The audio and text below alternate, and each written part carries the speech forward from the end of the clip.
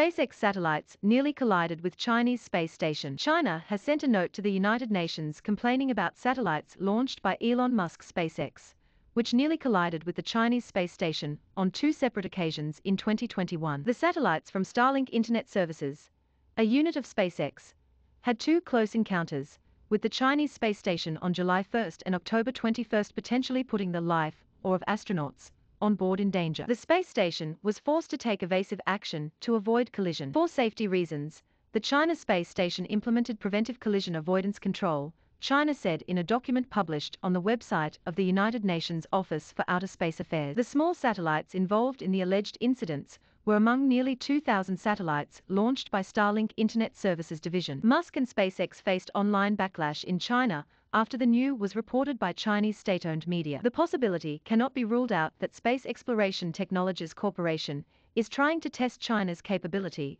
and response awareness in space, Global Times China reported. For comments and feedback contact editorial at rttnews.com. Biotech stocks facing FDA decision in January 2022.